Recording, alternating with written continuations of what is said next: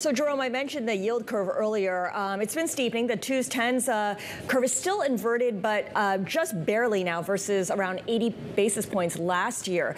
What does this move to positive territory if we get there signal to you? How much should investors read into it, given that it tends to be an indicator of recession to come?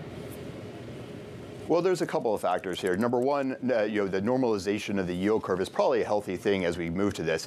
And let's put it in context. The Federal Reserve is moving to support the growth in the economy, not to fend off the left tail risk of recessionary factors. And so there's very different motives right now why easing monetary policy is in the discussion for the Federal Reserve. That's number one. Number two, from a practical point of view for investors, the easing policy obviously removes some of the tightness. It doesn't necessarily make the money is easy at this point in time. There's a variety of liquidity conditions which are relatively tight that we're going to have to contend with as we approach 2025 and beyond. And what it functionally means for those that are sitting on the sidelines, sitting in money market funds, is that undoubtedly they're going to see those yields dissipate. Right now is the time to effectively bail on bills, bail out of money market funds, and instead let's focus on the fact that the road to some total return lies in fixed income, not only a counterbalance balance to some of the volatility we might see in equity markets, yeah. but more importantly, some of the price appreciation we're going to see in bonds